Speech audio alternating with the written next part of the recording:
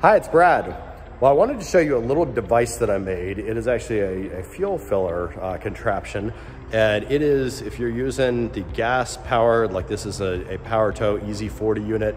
I started out in a shade hangar where I didn't have electricity, so got this and have just kept this uh, rather than go into like a best tugs, even though those things are amazing and, and we'll probably end up with one of those um, at some point.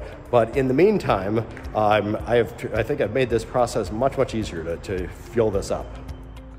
So basically what I did is actually a really simple design.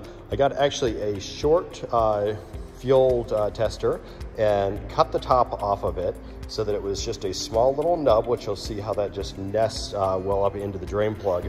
Um, took and in the bottom of it, actually, I don't know if you can see this, I actually bored a hole through the bottom of it and then attached it to basically 5 8 inch uh, fuel hose and put some uh, zip ties on here as well to make this little contraption. And then I line my tug up. In this case, I line up right where this tie down hook is, um, which the, then I know each time that it's the right fit for my, my fuel adapter.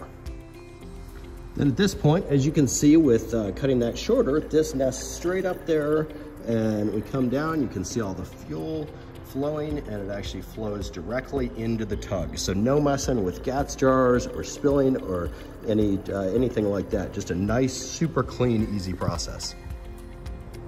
So that's it. So again, this is um, real simple design. Probably takes 10 minutes to make at most. Uh, it costs you about $15, including all the parts that you need for it. So super quick and easy. Love having not to mess with multiple trips with jars and the messiness and, and all the rest and just being able to, to fill my tug super, super quickly. So hope you found this helpful and I hope that everybody is having a great week and fly safe. Bye-bye.